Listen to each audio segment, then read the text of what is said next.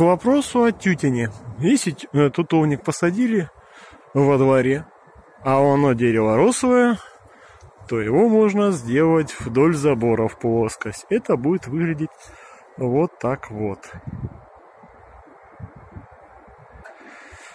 При этом, чтобы не так сильно росло, регулярно вырезается на пеньки. Дерево очень активно растет. Всякая мелочевочка остается, это наш урожай. Данная ветка была отклонена, она была практически вертикально, как и вот эта ветка. Та ветка тоже была отклонена. Да, та ветка была тоже вертикальная, она была отклонена. Выращена следующая ветка и тоже отклонена. А, вот эта ветка вертикально, она остается. Она вырастет, и ее тоже потом отклоню. Все в плоскость будет сделано.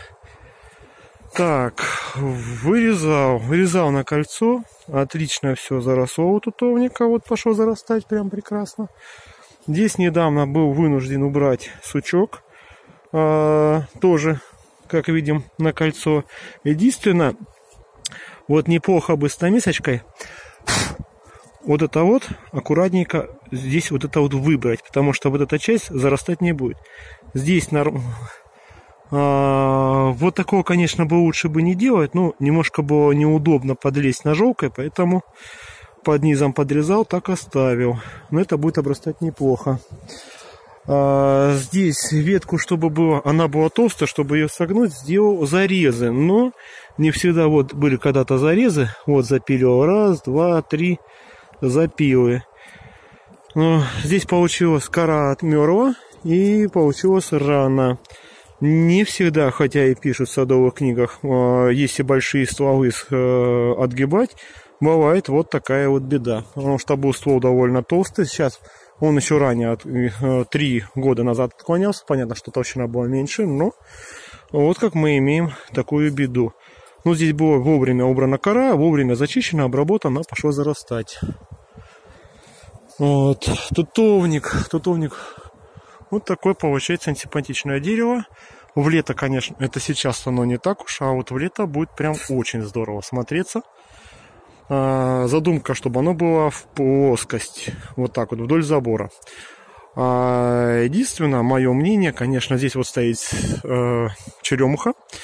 А ей не место черемухи, она вынуждена и за счет того, что э, тутовник создает тень, и черемуха тянется вверх. Ну, попросили черемуху не трогать, я ее не трогаю, но насколько возможно стараюсь сделать плоскости. Но нельзя забывать, что дерево гонка, рослое, а маленького роста не будет. Но здесь будет эта задумка, пускай, чтобы оно просто стояло в стену. Именно формироваться будет как стеной. И регулярно внутри должно подрезаться. Между э, ветками должно быть достаточно пространства, чтобы позволить, э, могу расти мелочевка. Иначе, если слишком близко между двумя ярусами, им тесно. Поэтому э, вот тот сучок, он сейчас временно стоит, он потом уберется. Потому что вот эта ветка, она потом перекроет. И иначе между вот, вот этой веткой и вот этой веткой, и вот эта вот ветка, она промежуточная, это она сейчас просто временно стоит для заполнения. А вот потом она уберется, эта ветка. И будет даваться вот той ветке расти. Вот, в общем, как-то вот так вот по тютине. Сформирована плоскость.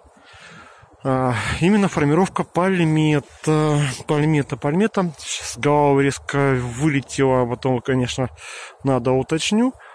А, она именно данная пальмета только гнутьем. Вот здесь именно использована как бы и классический вариант, и именно гнуть пальмета Райенхауса. Можно меня поправить, а, это не точно.